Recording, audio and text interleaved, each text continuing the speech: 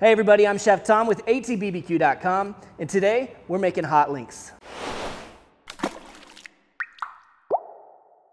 These hot links that I'm preparing today are a pork hot link, not to be confused with the red hots down in Texas, but we're gonna do it all the way from scratch, starting with this pork butt. So here we have our Boston butt pork shoulder. We're gonna be utilizing all this excess fat on the fat cap, but at first I wanna feel around and make sure that there's not anything cartilage wise left behind, anything hard that you don't want to go into your sausage. And this one looks pretty clean. I think we're in good shape. So the easiest way to handle this is to kind of follow the blade bone down until you get around the blade bone sitting right here. And once you get around it, you kind of slice straight through.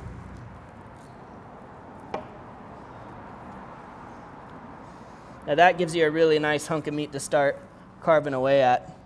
Oh, there we go. Found a little piece of cartilage. So that's something you want to look for. We'll get rid of that. All right, so let's start taking strips out of the pork butt.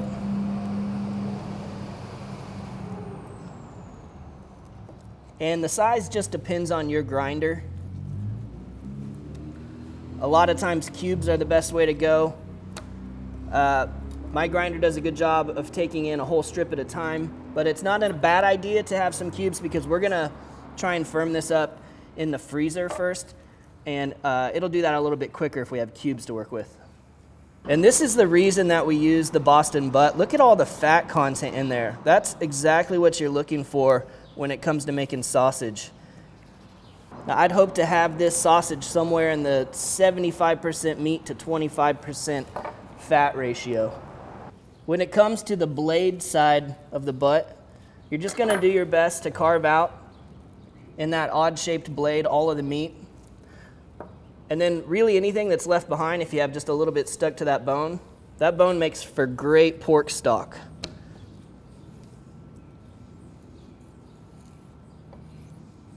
Now this recipe we're doing today, you can scale up or down.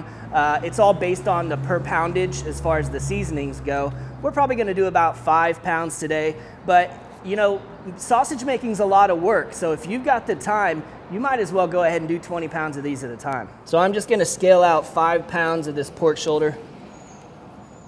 I'll maybe go just a touch over because I have it, and there's gonna be some loss in the process. And then I'm just gonna transfer this to a sheet pan. Uh, if you got, you know, like a casserole dish or something like that, something that you can get some surface area on that will still fit in your freezer. The more surface area you've got, the faster this is going to set up for you. And the reason that we're gonna put this into the freezer is because we want all of the elements of the sausage to be as cold as possible as we're making the sausage. If the meat ever gets warm enough to where the fat can start to melt, it will totally change the texture of the sausage.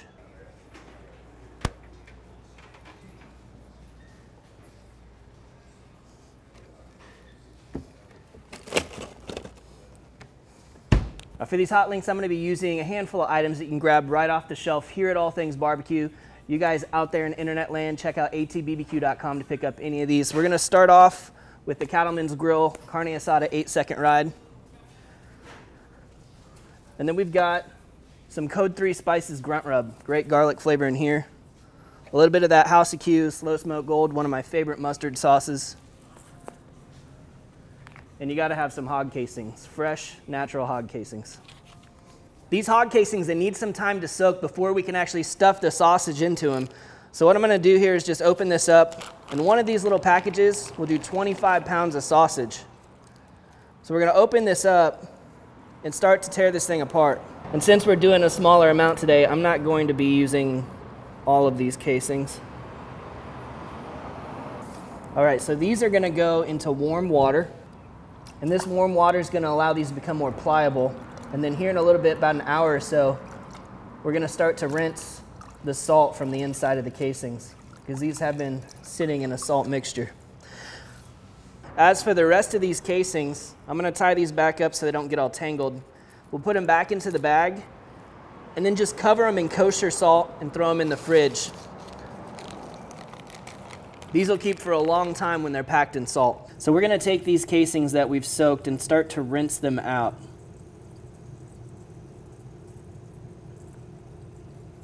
You want to get yourself a bowl with some cold water running in there. And then you're just going to open up the ends, get some water in there, and run it all the way through to the other side. When you get to that other side, turn around and go back the other way. So you'll do this a couple of times and then find the ends and transfer it to a bowl of clean water. If you leave these ends hanging out together, you'll always know where those are when you come to work with this piece of the casing. And then you'll want to refresh the water so that you're not just working with salty water the whole time. Repeat this same process. Find the end, open that up, scoop some water in there, and run it through the casing. Get to that far end, run it back the other way. All right, and that's how we rinse the casings. Make sure you keep them nice and organized as you transfer over. Try not to tangle anything. Just work your way around the bowl. Always keeping the ends of your casings on the edge so you know right where they are. Well, the pork is really set up nicely. It's not frozen all the way through, but it's pretty firm on the outside. We've got all of our equipment here for grinding that's been in the freezer as well. So we're keeping all of these components nice and cold.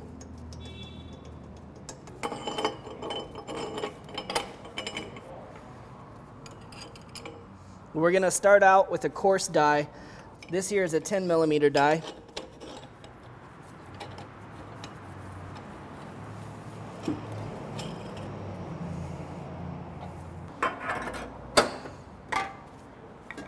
So this first pass through, we've got the partially frozen pork, no seasonings, on a coarse grind.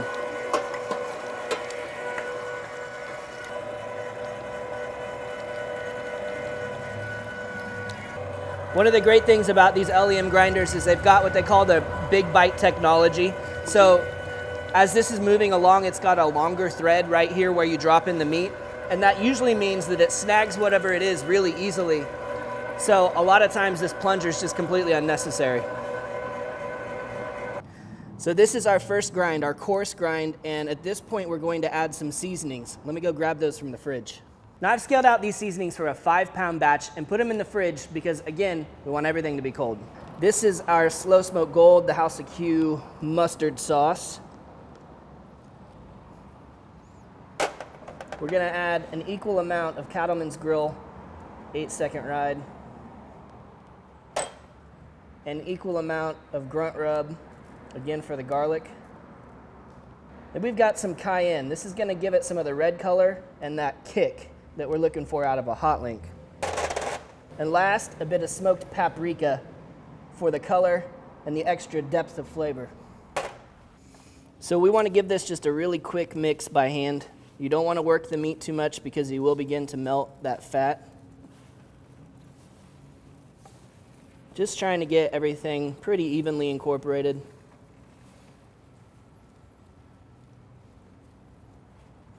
Now it's pretty hot out here on the patio. It's about 90 degrees. And just to make sure I keep the mixture cold, I want to throw it back into the fridge for another 20 minutes before we do our last grind.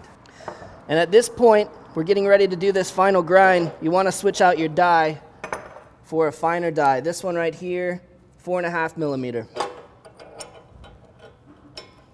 And the reason we're going down to a finer die is because I want a finer texture in this sausage. I don't want the hot link to be chunky like I would maybe an Italian sausage or something like that. So we're gonna take it down so it's a little bit smoother.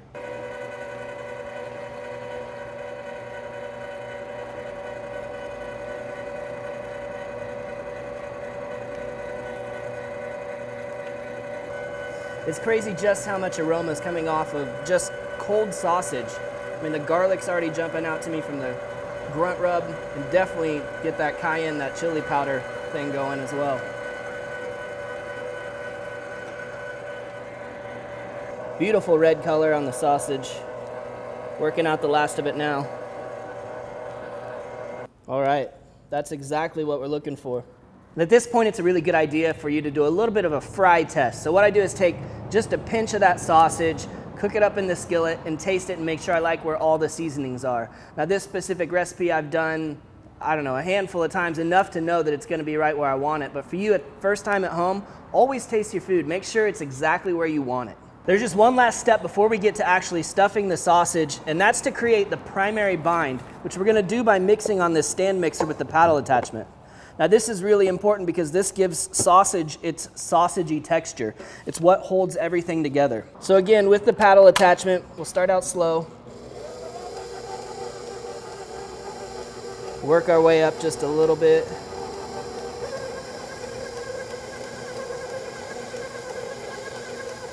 So what we're looking for, 30 to 60 seconds is all it's gonna take. But essentially, when you pick up this sausage, it all wants to hold together now. It's changed the structure, and that's what we're looking for. So that's right where we want it. It's tacky and it holds together. We're not gonna waste any time. We wanna make sure we keep this cold. We're gonna transfer it right over to our stuffer. And I'm gonna press this flat. You don't want any air bubbles in there because we don't want any air bubbles in our cased sausage.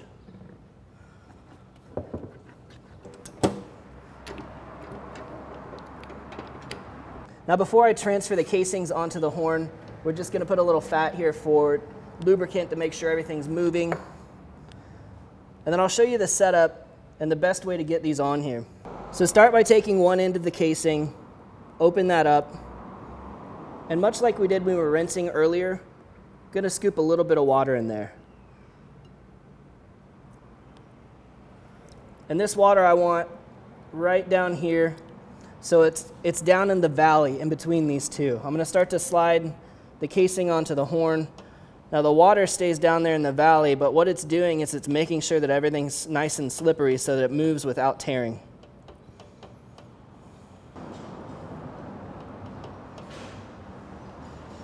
Perfect. So then we're just repeating this process until we've got all of our casings right here on the horn. And I'll move a little bit of this water back to the bowl, but we're gonna leave some here in the tray as well because it's gonna help the sausage move around and spin as it starts coming off of the horn. There's a couple different ways to get this started, but what I like to do is crank until the sausage comes all the way to the end, and then we know that there's no air left in the end of the sausage, so you can go ahead and tie it off first thing.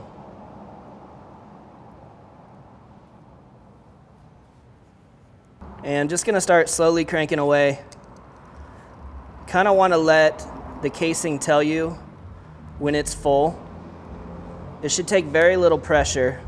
Just using my thumb and a finger or two to kind of guide things. And then when we get a bubble or something like this where it looks like there's a decent amount of air, you can just take the back of a knife and tap it. It's not gonna cause a blowout, but it does let that air out of there. So we don't want to overstuff these because that will cause a blowout. Also, if you overstuff, you'll have a hard time forming links later on. Right now, this is nice and pliable. We could form a link here if we want to. So we're not going super full.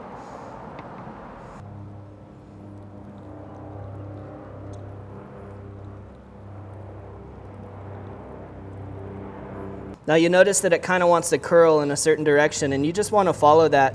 You'll see this actually has a twist to it right now where if we get all the way up here into this casing that's on the horn, it looks like it's twisted. So I might just help it along by go ahead and twist that and it lets it move a little bit more naturally.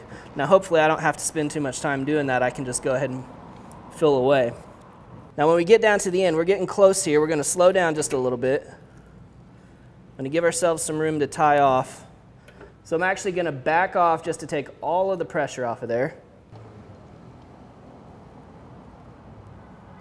And I can leave that untied for now until I finish making these links. Now I know that hot links actually has the word links in it, right? But I like to cook them whole sometimes. Just cook that whole spiral up just like that and you can slice them to serve. All right, and we're here at the end. We've run out of sausage to stuff. You can see this one went ahead and filled a little more full so we can cook it as a whole ring.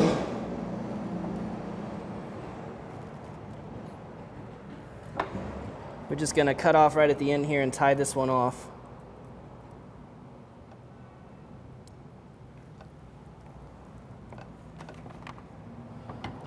I also want to show you a really simple technique for forming links. What you want to do, we call this pinch pinch, twist, and just repeat it over and over again.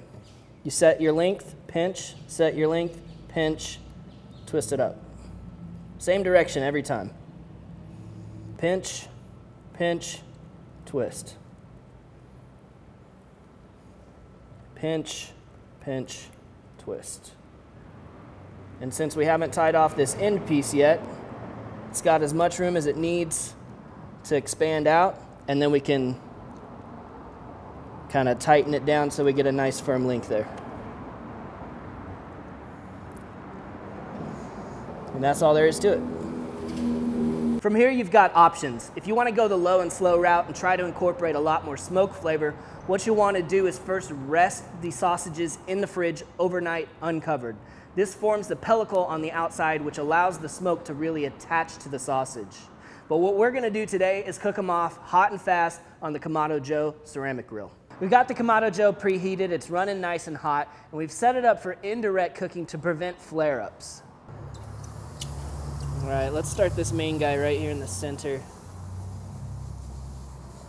And then we'll put our links around the outside.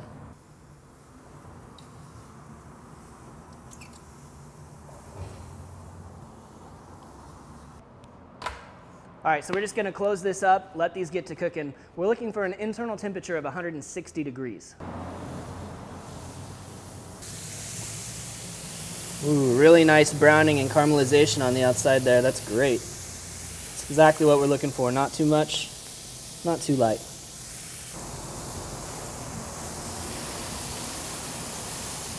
Now, inevitably, as the grease begins to drip out of the sausages and onto the plate or onto hot coals, it's going to flare up. It's really easy to control that. You just got to cut the oxygen down. So cook with the door closed in order to keep the flare-ups from getting out of control.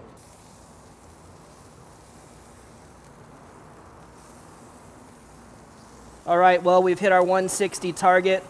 Really great little browning on the outside there. Start taking these guys off.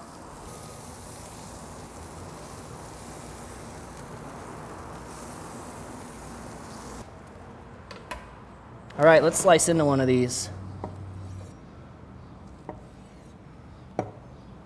Check that out.